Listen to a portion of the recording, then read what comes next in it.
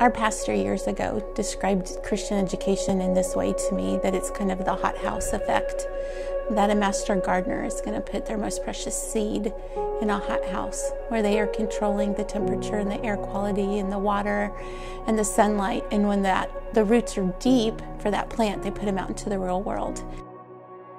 And I think because Jesus is integrated into everything that we're doing here, students have an opportunity to have their faith grow deep to withstand all the things that happen outside in the world. Well, I went to Hillcrest way back in the day.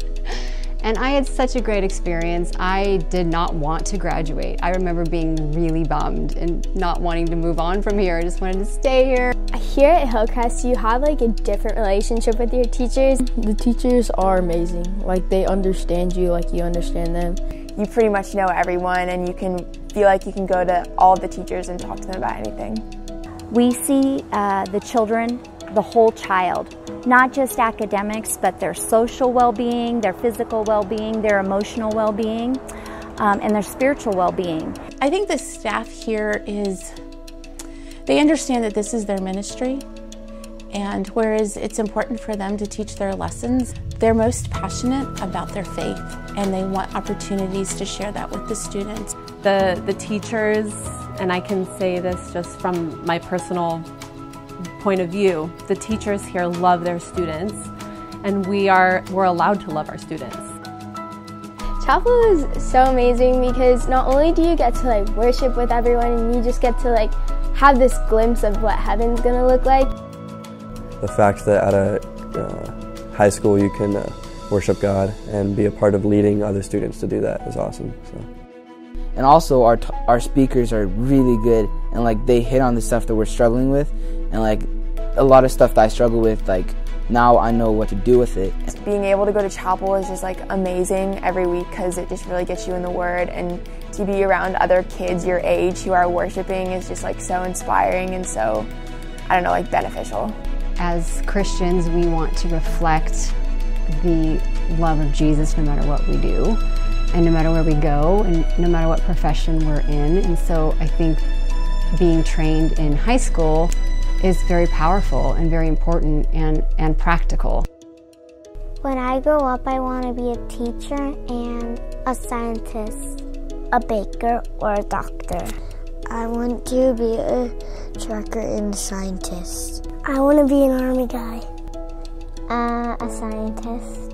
A ballet teacher. A fireman, and I want to build uh, a house. A zookeeper. A police.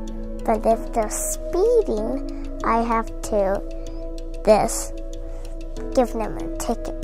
A ballet teacher. I think I want to be a therapist. Um, when I grow up, I want to be a bankruptcy lawyer. Doing something involved with music, uh, most likely like being a producer. A professional sports player, either basketball or football, I love them both. I want to be a veterinarian. I always wanted to be a pulmonologist, which is a lung specialist. For me right now, um, I want to study in um, engineering.